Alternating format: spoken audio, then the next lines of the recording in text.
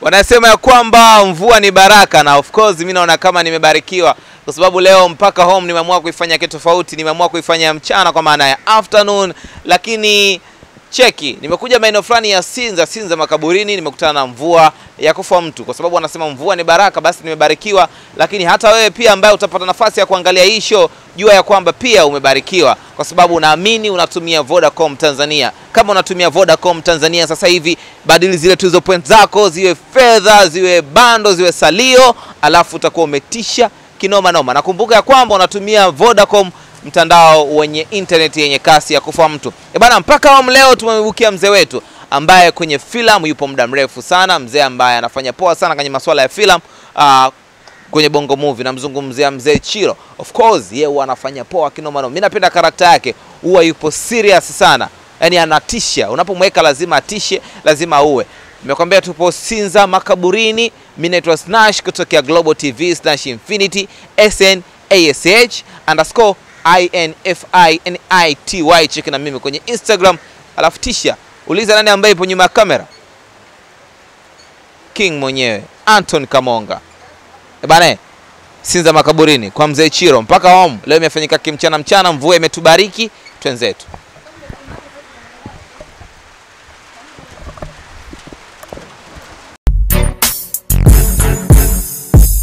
Na mtazamaji wa Global TV, kama nilivyokuambia, hii ni mpaka wa na leo nimekwambia kwamba tupo nyumbani kwa mzee wetu uh, mzee ambaye kwenye filamu anafanya poa kinoma noma. Mimi napenda the way ambavyo anafanya kazi yake, huwa yupo serious sana yaani yupo serious kwenye sura yake, ukiangalia mbali tuna kwa character, sura yake ana sura ya userious sana. Mzee Chilo kwenye filamu ni muda mrefu sana e bana, huwa ni kawaida yetu kwamba tukienda mpaka home lazima tugonge hivi, tuingie, tukurupuke hivi, mambo mengi huwa tunafanya, lakini leo kama ambavyo umeona mvua inanyesha kinoma noma, lakini moja kwa moja tumeingia, tumekimbia, umeona tumeshaanza kuloa loa. Kwa hiyo tukaona okay, so kesi sio tabu, sio shida, so uh, sio tatizo wala nini, wacha tuingie ndani moja kwa moja tukae, alafu mambo mengine yaendelee. Karibu sana kwenye mpaka home, nipo na mzee wetu. Mzee, shikamoo. Marhaba, Mzima? Nashukuru sana. Sura yako huwa ni ya serious sana. Hapana, sio wakati wote, nategemea nahitajika nini katika sehemu hiyo ya maigizo Kweli? yeah. Niambie, mimi nime, nimepata bahati ya kukuona sehemu nyingi nyingi kwamba inapofikia muda wa swala lazima utaache shughuli zote, sehemu yoyote utatafuta utaswali. Uwe ikikupita kwenye swala inakuumiza kiasi gani?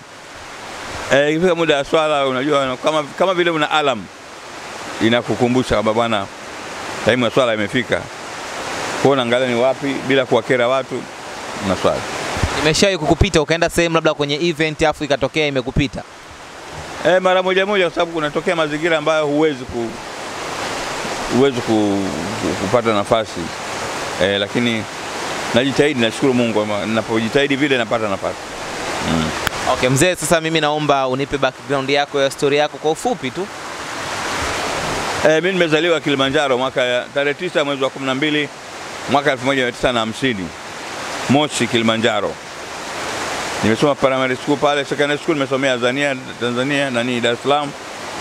Baada ya hapo nikapata fursa ya kwenda kufanya kazi serikalini Kisarawe. Baada ya hapo nikapata nafasi ya kufanya kazi kwenye kampuni ya Bora Bora Shoes pale karibu na TBC, na nikapata fursa pia ya kusafiri kwenda kusoma nje Saudi Arabia, Madina University. Ndio nikarudi nikafanya kazi ya ualimu mkoa wa Kilimanjaro kwenye vipindi vya dini, nikaja nikafanya kazi kwenye ubalozi wa Saudi Arabia, basi mpaka nikastaafu. Na kwenu nyinyi mko ngapi? Kwenye family eh, tuko saba, lakini tumebaki sita, mmoja amefariki. Okay. Wewe ni wangapi? Wa kwanza kabisa. A, Mimi wa pili. 1950 mpaka leo, ipi siri ya kufanya kukufanya uwe bado na nguvu? Siri ni ya Mwenyezi Mungu lakini najitahidi kuepuka vitu vyote ambavyo vinaweza vikaharibu afya yangu Okay. yeah. Ilikuwaje ukaingia kwenye masuala ya, ya tasnia? Tasnia wanavyosema wenzangu kwamba nilianzia tangu kwenye shule ya msingi. Wanavyosema wenzako, kwa maana gani? E, tuna mwenzetu mmoja anaitwa Abdalla Abdalla Kimario, yeye yuko Marekani, huwa anakuja mara mara. Sasa ndo wakawa nawaambia watu kwamba jamani, huyu msimuone hivi, huyu tangu nasoma naye shule za msingi miaka sitini alikuwa na, anaigiza anatoa mashairi anasimama kwenye jukwaa kwa ni kitu ambacho kilikuwa nani mpaka kwenye secondary school tukawa tunaigiza mama Shakespeare, Macbeth na kadhalika. Ndio. Kwa hiyo nilianza siku nyingi. Ni kitu ambacho Mwenyezi Mungu ameni amenitunuku. Ili jina la Mzee Chilo lilikujaje? Jina la Mzee Chilo lilitokana na tamthilia inayoitwa Jumba la Dhahabu ambayo namshukuru sana Bwana Chuzi Kiangala ndio li, aliniona kama naweza ku- kushiriki tamthilia hiyo ambayo ili, ilivuma sana. Kwa hiyo nilipata jina hilo la, la, la, la, la Chilo. Wakati unaingia kwenye jumba la dhahabu ilikuwa ndo mara yako ya kwanza kufanya kufanya sanaa? Hapana, nilikuwa nimeshafanya sehemu nyingi, nilikuwa nishafanya na ya movies eh, na kina Joan na kina an, Vanita na kina Nikita, ni watu ambao nilikuwa nimeanza nao yeah. Wa, wakati unaingia kwenye kwenye sanaa ilikuwa ni, ni muda gani? Ilikuwa na umri gani labda unaweza kukumbuka? Maana mimi nakumbuka sisi tumeanza kukuona tayari umeshakuwa mtu mzima hivyo. Eh, ni nilikuwa tayari nishafika kwenye kwenye 48 49 kitu namna hiyo mm. Na, na uingiaji wako wewe kwenye sanaa ni mtu gani ambaye unaweza kumkumbuka sana kwenye story kwamba ah, mtu fulani ndo alifanya mimi nikaigiza? Kusema kweli wako wengi, wako wengi, kina Chef Budi, kina Lucy Komba, kuna mm, nani ndugu yetu na Rich Rich, Rich. Yeah, na baadaye ndo akaja akaja Tuesday Kiangala na pia marehemu Kanumba mfanya naye karibu movie sita pamoja. Yeye alinichukua kwa alinichukua kwa, kwa Kiangala na pia kuna Ray au ndio nilianza nao, wakaona kwamba nafaa sehemu fulani, wananifuata mzee, fanya sehemu fulani. Basi namshukuru Mungu kidogo kidogo mpaka watu wakanifahamu. Umewahi kuproduce movie yako mwenyewe? Na kwa nini wazee wengi wamekuona katika filamu hapa nyumbani huwa hawaproduce movie zao. Yaani tunasubiri wanaitwa huko wanafanya kazi za watu vizuri lakini hawaproduce movie zao. Tatizo liko wapi? Sijui wengine, lakini mimi tatizo hasa ni swala la, la finance, swala la fedha. Uh, mimi muoga kidogo kwenda ku, kuchukua hela kwa mtu alafu nikafanyia filamu. Ni muoga kidogo, sababu nimeona wengine wamefika hadi ku, ku, ku, ku, kuadhiriana kupelekana mahakamani na wapi na wapi. Mtu anakuwa ni mzuri wakati unazungumza naye swala hilo ni jepesi, lakini yakishabadilika urafiki unaondoka, hata udugu unaondoka. Sasa okay. kaona ngoja wazungu wasema ngoja I should be in the safe side. Ngoja niwe, niwe katika sehemu ambayo naagizwa ni, niigize basi. Na hiyo ime- imetengeneza usalama kidogo na mahusiano na kampuni nyingi, watu wengi na kadhalika. Mm. Wakati unaingia kwenye filamu kuna kitu kingine ambacho ulikuwa unafanya kipindi kile ama ulikuwa ushamaliza Kazi nilikuwa nafanya biashara. Biashara kama biashara gani uko unafanya? Mimi napenda sana biashara ya duka. Mm. Na kazi bado ulikuwa ni kisara au ulikuwa mwalimu kipindi? Hapana, wakati ule nilikuwa tayari ni ubalozi. ubalozini. Mm. Ndio. Nimewahi kukaa ku- ku- kufikirisha kwa kipindi hiki kusema ah, niache filamu kwa sababu watu wengi wanalalamika soko. Eh, nataka kufanya hivyo lakini sasa lazima uwe na support. Unaacha filamu unafanya nini? Umeelewa? Kuna watu wamejaribu kunishauri kwamba fungua ofisi yako au fungua kundi lako, lakini naangalia pia hiyo pia nataka support, mpaka uwe na hakika kwamba vijana utawachukua kweli, baada ya mazoezi utawapatia kazi. Unaona? Sasa wakati ule tasnia yetu ilipoanza kuyumba, akasema hapana, subiri kwanza. Mwingine anachukua fungua consulting office, huwa unawachaji watu kama vile daktari, watu wanataka kujua hichi, wanataka kujua kile, lakini hata hivyo inategemea mazingira, kwa sababu upande wa pili usifanye kitu ambacho unaona hakina guarantee sana yeah. Mimi ni mtu wa Tanga, nimekulia Tanga. Wakati kipindi kile ni mdogo mdogo na ku- tunakuangalia, uh, zikawa zinakuja stori nyingi sana kuhusu wewe, hususani ukipewa ukipewa ile sini ya kucheza na binti mdogo, labda kama mpenzi wako hivi, watu wakawa wanaongea stori nyingi wengine wakasema ah, nyie hamjui mzee Chilo ana swali sana yule, msione hivi msione. Zinakupaga tabu kiasi gani zile sini? Yeah, zina zinanipa tabu, lakini sasa kwa vile ni una, unaigiza nataka kuelimisha jamii na huna nia mbaya na huyo binti haikusumbui. Story gani ambayo hutoisahau? Historia ya kuact kama mimi ni, ni, ni bishop yeah, kuact kama bishop na kuna story nyingine ni act kama mimi ni, ni, ni, ni mzazi mbaya, yani ni mfanyi biashara lakini na tabia mbaya kuwageuza watoto wa kiume yeah. Nilifanywa na Dogodogo Center na tulipata award kwenye UNESCO yeah. mimi na mama Adija uh, ni Hidaya Njaidi na wengine yeah. Yeah. Sasa sehemu hiyo kama nilikuwa na duka, lakini nilikuwa na mchezo huo kwamba e, mtoto wa kiume anakuja namwingiza ndani namfanya anavyotaka, alafu na mama yake anakopa, anajidai kuwa mkali, lakini kumbe namtaka binti yake nani mwanao wa kiume na kadhalika. Hiyo ilinisumbua kidogo. mimi na mimi huwa naamini kwamba movie kidogo huwa ni, ni uh, sio ngumu sana kwa sababu ina, ina, ina zile cut shot fanya hivi yani movie kidogo na vitu vingi. Umeapia pia katika vi, music video. Sasa na, na, huwa na, naonaga kwamba music inataka uwe romantic sana. Ile inakuwaga ngumu kiasi gani? Ama movie ni ngumu kuliko vi, na music video? Hapana, hiyo Shilole alikurupuka baada ya kuniona kwenye kwenye video nyingine. Eh, alikuja ghafla. Na Shilole tunafahamiana siku nyingi, sababu kuna movie ambayo tulishoot na kampuni ya Pilipili na Madam Kanumba Black Sunday, yeye yeah, alishirikishwa yeah, Yeah, kama ni, ni dada wa nyumbani na nini. Kwa hiyo tukawa tunaweza kufahamiana. Kwa hiyo akaniambia bwana, na na, na, na, na, na, na video yangu nataka ushiriki. yeah. Okay, nika nikashiriki. Kwa hiyo mahali pa kuchangamka ilibidi lazima nichangamke. Haiwezekani uka ukashiriki kwenye nani alafu sehemu ambayo inabidi urukeruke na nini alafu uwe umekaa kimya. Utoipamba ile video. tulianza kumwona Shilole katika filamu na naamini wewe ni mtu ambaye unawezekana unamjua vizuri sana. Sasa hivi anafanya mziki. Wewe wapi unamwona Shilole iko vizuri sana? Shilole anaweza yote mawili, lakini amekwenda zaidi kwenye mziki kwa sababu mziki unalipa haraka kuliko filamu mm. yeah. Hasa kama hivyo ukishakuwa na ushafahamika mm. kwenye mziki, inakuwa ni rahisi sana kutengeneza hela kuliko kwenye filamu. Kwa nini wewe una, unahisi kwa upeo wako, kwa nini uh, mziki unakuwa na hela nyingi kuliko filamu kwa hapa? Hapa sisi kwa sababu process ya, ya filamu ni ndefu na malipo ya filamu yako chini, lakini kwenye mziki, mziki anakwenda kwenye ukumbi, hela yake anaiona pale pale. Kuna mwingine analipa kabla hata haja, perform, perform, tofauti na filamu. Filamu mpaka ipatikane iuzwe, malipo inachukua muda yeah. mm. Amestaafu Rais John Magufuli, ameondoka. Mzee Chilo, tumekupigia kura, umekuwa rais. Kwenye filamu utafanya kitu gani kuhakikisha filamu zinasimama Tanzania? Unasema mfano, mimi sitaki siasa. Tunachukulia mfano. Ah, okay. Basi tuondoe urais tunakupa nafasi kubwa sana katika sanaa katika labda wizara ya sanaa nini. Kitu gani ambacho utahakikisha wewe unahisi hiki kikifanyika hivi filamu tanzania inakuwa kitu kingine tunazungumzia? Cha kwanza ningewashauri sana serikali na wafanya biashara wawekeze kwenye filamu. Hicho ni kitu ambacho kwa kimekuwa kizito, si kwa nini wawekeze kwenye filamu, waweze kutengeneza filamu ambazo kwanza zitakuza utalii wa nchi hii, maendeleo ya nchi hii, itauza nchi hii nje.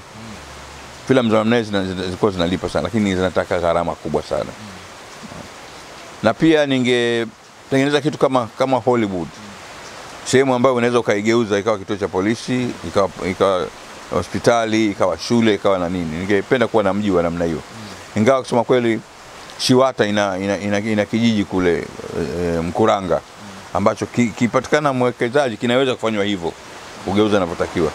Kwa hiyo ningekuwa waziri, ni vitu ambavyo ningevalia njuga, na hali kadhalika malipo kwa waigizaji wale ambao wanashiriki kwenye filamu, na pia taratibu za makubaliano kati ya mwenye filamu na wale ambao wamekuigiza. Hicho ni kitu kinayumba sana, na kubwa zaidi pia ni nidhamu, kwa sababu nidhamu sasa hivi, nasikitika kusema kwa baadhi ya wasanii wanaposhirikishwa kwenda kufanya movie sehemu, nidhamu inakuwa ni ndogo sana.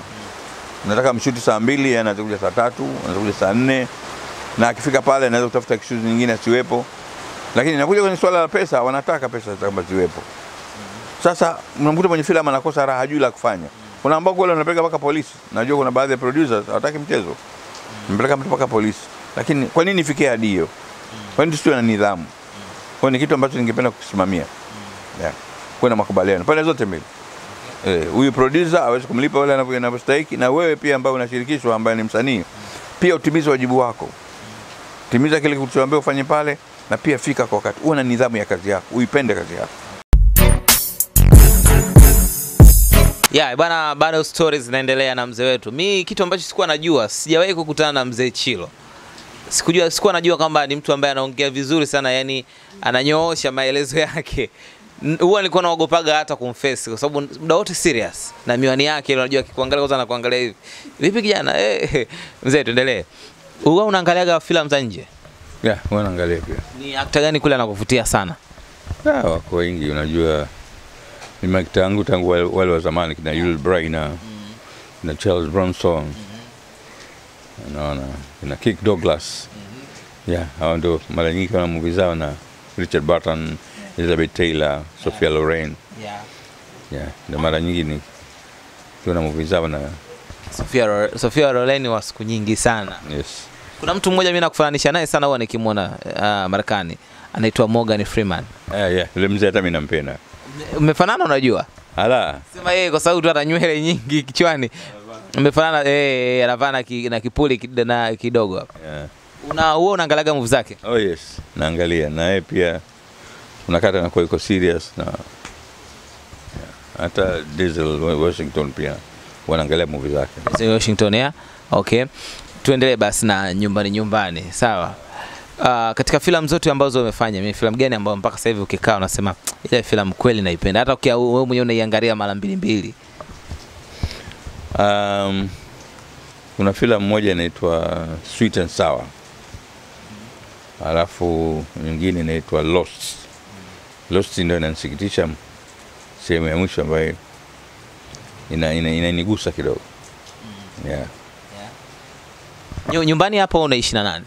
Hapa naishi na mke wangu na kuna binti ambaye tunaishi naye, ni mtoto wa shemeji yangu yeah. Na yeah. Na um, wife yuko wapi? Wife yuko kazini, Mm. Anafanya kazi gani? ni housekeeper wa ubalozi wa Saudia. Mm. Ni kitu gani ambacho mtu hajui kwenye maisha ya mzee Chilo? Eh, hata sijui sijui niseme nini manake eh, labda eh, sema mzee Chilo kwamba eh, sio sifa, lakini ni kwamba situmii kilevi chochote mm. wala uvutaji wa, wa aina yoyote yeah. Una Instagram account E, nayo ambayo ni mzee Chilo official. una huo unaioperate mwenyewe? Hapana, ni mvivu sana, mvivu sana. Kuna pata wakati mtu ana, ana, ana operate on, on my behalf mm. yeah. Mwaka 2019 kitu gani ambacho kilikuvutia sana Instagram na kipi ambacho kilikukera? Ni vitu vingi, ingawa sio mfuatiliaji sana. E, sipendi ule mtindo wa wa mabinti kujionyesha kwenye Instagram. Kwa- Kwa sehemu kubwa ni hajavaa nguo, alafu swala la ku, ku, wanasema ku, kumchamba mtu, kumtukana mtu au kutukana serikali, vitu vya namna hiyo vinanisumbua kwenye Instagram. Okay. Yeah. Uh, mara ya mwisho kuongea na marehemu Steven Kanumba unakumbuka ilikuwa ni, ni lini? Inawezekana usikumbuke date exactly, lakini labda mwaka, hata usipokumbuka pia sawa, lakini nataka kujua mliongea nini, na unakumbuka mara ya mwisho yeye na wewe na yeye mli- kitu gani ambacho mliongea? Ninachokumbuka eh, kuna filamu inaitwa um, Village Pastor nilifanyia Bagamoyo, nje ya Bagamoyo kidogo. Ni vile ambavyo nilifanya mimi na Kanumba, tukawa na muda mrefu sana wa kuzungumza, muda mrefu sana hotelini, wakati wa kushuti na kadhalika.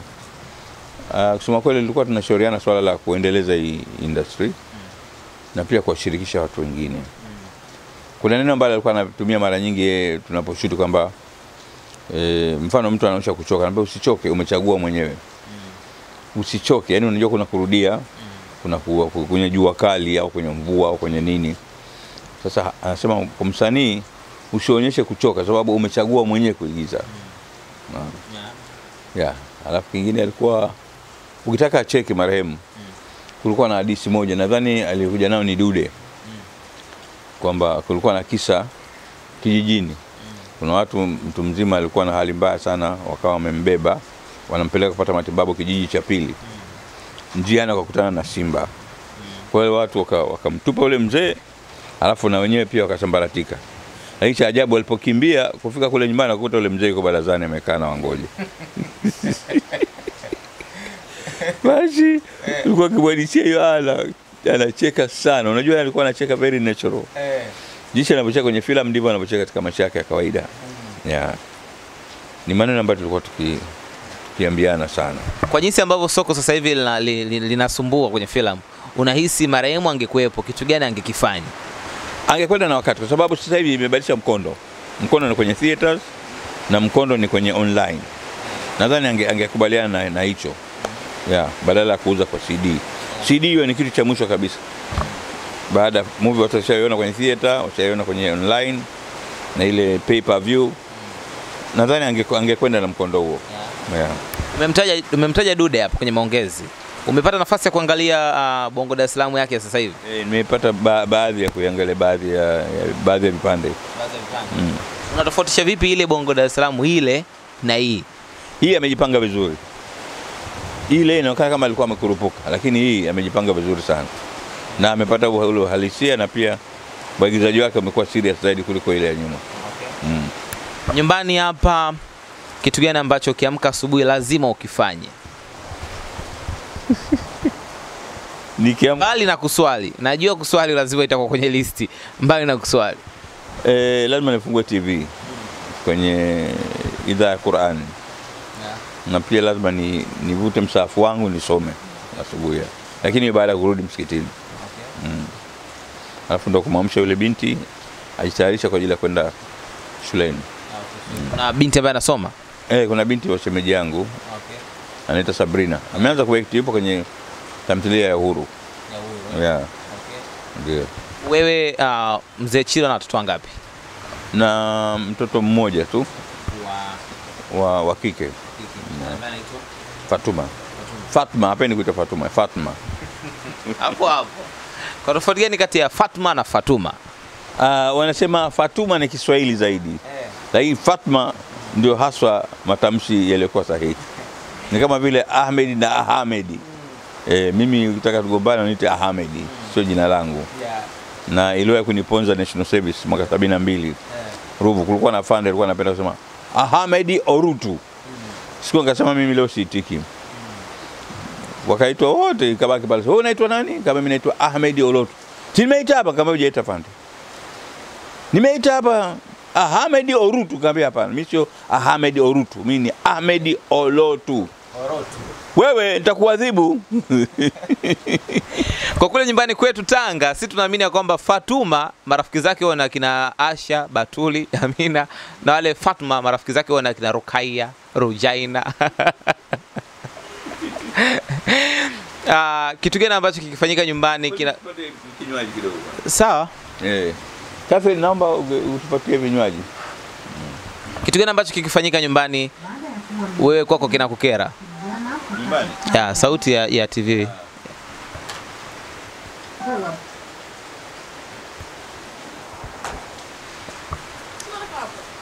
Ah, hapa eh? Hapa basi. Ah, imagination. Dada na, mambo? Poa. Mm. Eh? Mzima. Ya kuna tena? Catherine. Catherine. Mhm. Uliza swali la kizushi. Eh? Mm. Eh? Ah, mzee akiondoka hapa nyumbani kwa muda gani unaweza ukammisi? Robo saa. Robo saa. Kitu gani ambacho kinakufanya una miss? Mcheshi. Anapenda utani. Utania anapenda ndio maana miss. Kwenye maisha kuna kitu kukasirika. Niambia, akikasirika anakuwa ni mtu wa namna gani? Yaani akikasirika kitokea ndo amekasirika hivi. Sijai kumwona akiwa amekasirika kwa kweli. Hajai kukufokea? Mara chache ananifokea pale nikikosea. Sio serious. alipokea ananielekeza kwamba hapa sio sahihi. Mm. Basi asante sana kwa vinywaji. Haya. Eh, mimi acha kwanza ni- ni- koo. Hata bila kukaribishwa. Karibu. King. Karibu. King. Karibu. Unafunga? Kazi na dawa. kazi na dawa. Kuna wa- wa- huwa sisi tunaamini ya kwamba kwenye filamu hususan ni wanawake kwamba hawapendani. Si tunaamini ya kwamba labda angekaa fulani fulani fulani pamoja, wangejiorganize wangeweza kufanya kitu, kitu kimoja, lakini mtaani inaaminika kwamba huyu ampendi huyu, huyu ampendi huyu, huyu hawezi kukaa na huyu, huyu hawezi kushuti na huyu. Wewe niambie kwanza, lina ukweli hili na wewe unalionaje hili jambo? Kwa wasichana kuna mambo mengi, kuna mambo hata zaidi ya hayo, sababu kuna swala la swala la mapenzi. Lipo sana kwa wasichana, na liko ambalo ni kusudi na liko ambalo ni bahati mbaya. Kusudi ni ile kwamba mnafanya naye kazi, anaona kwamba njia ya kukulipa awe na mahusiano na wewe. Sasa na wakati huo kuna mwingine pengine ana wana uzungu anaita secret admirer, anampenda yule director lakini hataki kumwambia. Kwa anapoona yule mmoja anaji, anajishaua eh, anakuwa yuko karibu na mwenzake, tayari anajenga uhasama wa aina fulani. Sasa hata ukiwaambia kwamba washiriki kwenye scene fulani, ile picha unaiona kabisa kwamba hawaelewani. na mmoja hayuko tayari kumkumbusha mwenzake, na pia reaction inakuwa ni mbaya.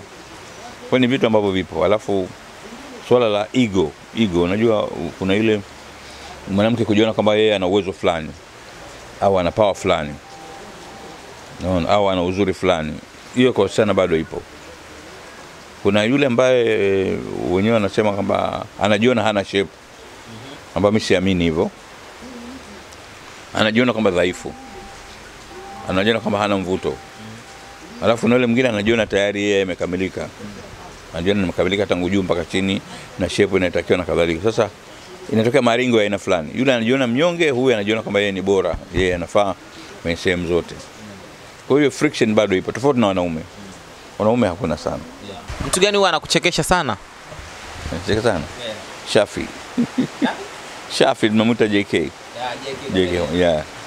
Nimekuwa naye karibu sana na sema kweli anachekesha sana. Sauti gani ambayo yeye aki- akiiga wewe una enjoy? Akiekti kama mama uh, mama wanani wa Gertrude Gertrude eh, Gertrude na mheshimiwa Magufuli yeah. na JK mwenyewe mm. yeah, ni na mama Ana Makinda anavyoact kama Makinda, alafu pia anaact kama mzee mzee Mengi yeah. Ameshawahi kukuiga wewe sauti? Ah, hajawahi kuniiga lakini ananipa heshima sana na tunapokuwa kwenye shughuli pamoja. yeah. Anapenda sana kuniintroduce kwenye shughuli kuonyesha kwamba nipo yeah. okay. yeah. yeah, okay. na kunitolea mifano mizuri yeah. yeah. Na wewe pia umepata nafasi ya kuingiza sauti kwenye baadhi ya tamthilia. Eh, nimeingizwa kwenye baadhi ya, ya, ya, ya, ya nani ya tamthilia ambazo zinafanya pilipili yeah. zile za Kihindi ambazo tunabadilisha Ile Waris wewe pia umeingiza sauti. mm, kwenye Waris ipo. Okay. Ipi ambayo umeingiza sauti? Ambayo ambao wana, wana introduce sasa hivi yeah. Yeah, yeah. Fanya yote chochote kile mfanyie mzee Chiro atacheka. Kitu gani ukimfanyia atakasirika sana, utamkwaza sana.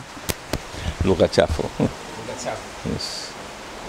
Sawa, mimi sijisifu, lakini ni, ni, ni, ni Mungu wa rehemu wazazi wangu, sikuwahi kusikia hata siku moja kumtukana mtu zaidi ya mshenzi. Sijawahi kusikia, hasa mama yangu, hata akikasirika vipi na baba yangu. Sasa ni vitu ambavyo tumevikulia. Sasa inapotokezea mahali unakwenda mara mtu anatukana matusi ya nyumbani na nini. Niliwahi kufanya kazi kwenye kampuni moja inaitwa Dunia Inc. Ilikuwa ina promote baadhi ya bidhaa. Huwezi kuamini, siku ya kwanza nimepeka wale of- ofisini, kuna mmoja wa madirectors alitumia lugha chafu sana kumwita mtu mwingine, chafu sana mpaka siwezi kuitambua. Kweli nilipata shock, lakini baadaye nilizungumza naye akasema, ah, yule ulikuwa utani na nini na nini, lakini sikupenda. Unajua, first day unafika katika ofisi alafu mtu anatumia lugha ambayo ya kiajabu yeah.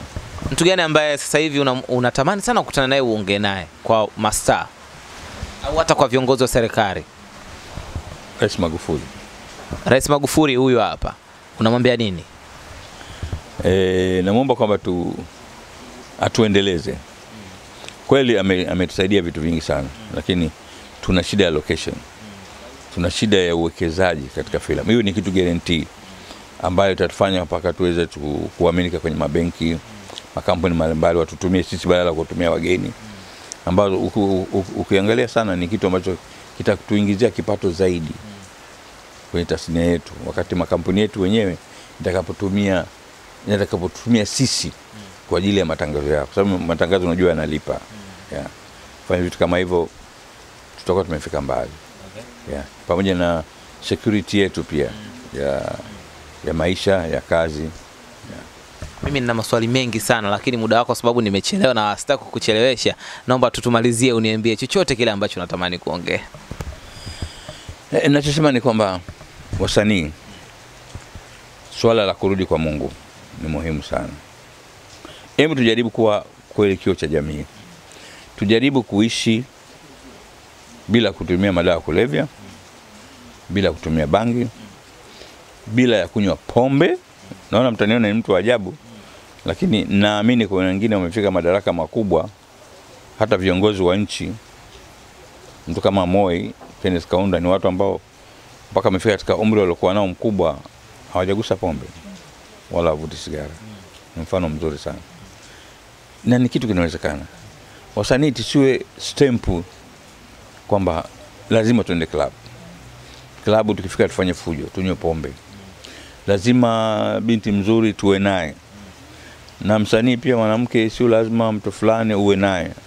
Tujaribu kuviondoa hivi vitu turudini kwa Mungu. Naomba wale ambao inabidi kwa rehema wafunge wafunge, katika mwezi wa Ramadhani kufunga wafunge.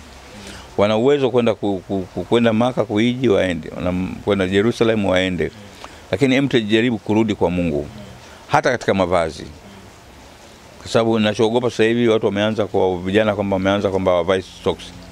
Sasa naogopa kesho sije ukawa wavai nguo ya ndani, baadaye wavai suruali, naona nakiogopea na mabinti pia Uki, mbona ukivaa nguo nzuri unapendeza, vaa nguo ndefu. Nitoa mfano Sofia Loren hapa. Sofia Loren muda wote ambao katika maisha yake hakuvaa sketi fupi, na ametoa mfano mzuri sana. Na pia tuna wasanii wazuri sana, mfano kama Mona Lisa ambaye tulikuwa naye jana na mama yake, wameingia kwenye tasnia na wamefika juu, hawajaenda nu- nusu uchi, hawajaenda vitu kama hivyo. Kumbe inawezekana. Basi tuwe mfano, tuwe mfano, na wakati ni mfano kwamba tuna sifa nzuri katika misikiti yetu, katika makanisa yetu, katika masinagogi yetu. Tuwe ni mfano mzuri kule, tuwasaidie maskini, tuwasaidie yatima, tuwe na watu karibu, tuwe ni, ni, ni, ni, ni watu wa watu, watu mpaka wanatumaini, wakituona wanafurahi kwamba tatizo langu litakwisha. Tupendane, tupendane, muhimu sana. hapo hapo na mimi naomba niongeze neno. Uh, ametoa mfano kwa watu ambao wenyewe wanavaa vizuri. Kwa wale washikaji zangu ambao mnafurahia na mnapenda soka kinoma noma, kama unapenda soka, bila shaka utakuwa unampenda Cristiano Ronaldo. Cristiano Ronaldo atafanya mambo yote, lakini hana tatuu kwenye mwili wake na na sababu zake nyingi, kwa sababu hataki tatu. Moja kati ya sababu ambazo Cristiano Ronaldo zinamfanya hataki kuweka tatu kwenye mwili wake, yeye ni mtu ambaye kila mwaka anachangia damu. Kwa hiyo anaamini kwamba akichora tatu damu yake inaweza ikawa haifai kwenye kuchangia. Kwa tunaweza tukachukua mfano mzuri pia kupitia yeye. Mimi naitwa Safi Nation, niite Snash Infinity. Check na mimi kwenye Instagram kupitia snash underscore infinity. Hii ni mpaka home. Leo tumeamua kuifanya mchana na mzee wetu mzee Chiru. Tumepiga story nyingi sana, umemsikia mwenyewe alivyosema, sio Ahmed Ah, ah, atakuwa itikii, sio Nitaitikia lakini nitasaisha. Eh, bwana, nyuma ya kamera anaitwa Anton Kamonga. Mzee, asante sana kwa kinywaji. Mimi nawashukuru sana yeah, kwa kuja mpaka nyumbani na kuwa pamoja, nashukuru sana Yeah. na bila